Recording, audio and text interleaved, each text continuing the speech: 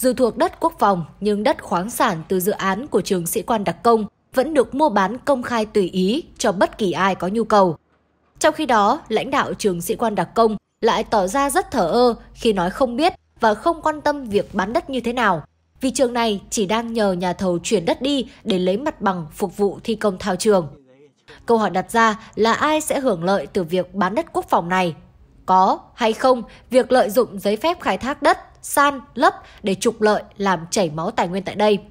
Theo giấy phép khai thác đất san lấp số 31 GP UBNZ ngày 3 tháng 7 năm 2020 cho công trình cải tạo mặt bằng khi thực hiện thi công trường bắn, thao trường huấn luyện của trường sĩ quan đặc công tại xã Liên Sơn, huyện Lương Sơn, tỉnh Hòa Bình. Và gia hạn giấy phép số 54 GP UBNZ ngày 20 tháng 10 năm 2020 khối lượng đất san lấp được phép khai thác chỉ hơn 16.000 mét khối, với độ sâu khai thác tối đa là 3,5 mét.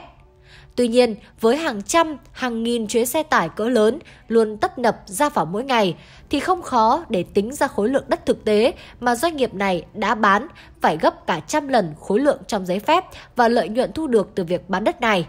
Tất nhiên là con số không hề nhỏ. Trước tình trạng các đoàn xe tải chở đất với dấu hiệu cơi nới thành thùng, chở quá khổ quá tải, náo loạn khu vực xóm Đá Bạc, xã Liên Sơn, huyện Lương Sơn, tỉnh Hòa Bình, nhóm phóng viên truyền hình báo điện tử tầm nhìn đã nhiều ngày liên tiếp ghi nhận và lần theo lộ trình các chuyến xe này. Sau khi lấy đất từ dự án của trường sĩ quan đặc công, các xe tải siêu trường, siêu trọng chở đất di chuyển ra khỏi địa bàn xã Liên Sơn, băng xuyên qua các tuyến đường thuộc địa phận huyện Trường Mỹ và từ đây các xe tải chở đất tỏa đi nhiều hướng, phục vụ việc san nền trong một số dự án đang thi công trên địa bàn thành phố Hà Nội như huyện Trường Mỹ, Thạch Thất, Quốc Oai. khối, ờ, ờ, bảy khối. Này mua là xe nó 18 20 khối, nó bảo trước kia nó chỉ mua có hơn trăm thôi, bây giờ thì nó mua vào hơn 200 thì hơn 200 chưa đến ba nghìn khối xe là vào 18 khối, xe thì 18 khối, xe thì 21 khối, khối thì vào trăm rưỡi, à triệu rưỡi. Biểu tượng mới của thành phố tương lai phía Tây Hà Nội. Chuẩn mực và đẳng cấp vượt trội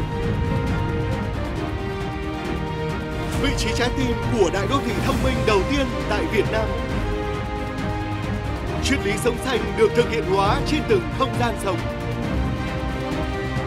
Imperia Smart City, Thịnh Bích, Live Smart, một sản phẩm cao cấp của tập đoàn Big Group. Nhóm phóng viên đã vô tình ghi nhận được tình trạng một số xe chở đất với dấu hiệu cơi nới thành thùng, chở quá khổ quá tải băng qua tổ công tác của đội cảnh sát giao thông trật tự, công an huyện Lương Sơn nhưng lại không hề bị xử lý. Trao đổi với phóng viên truyền hình báo điện tử tầm nhìn, Đại tá Nguyễn Xuân Bình, Phó Hiệu trưởng phụ trách đào tạo trường sĩ quan đặc công cho biết,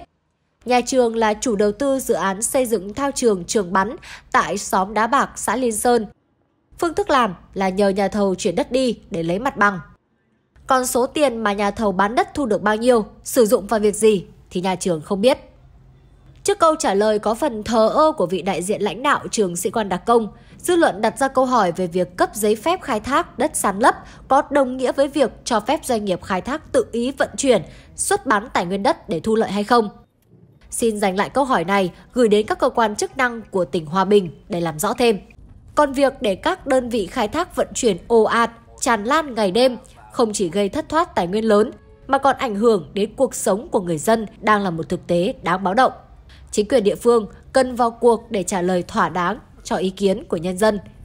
Truyền hình báo điện tử tầm nhìn sẽ tiếp tục thông tin trong các phóng sự tiếp theo.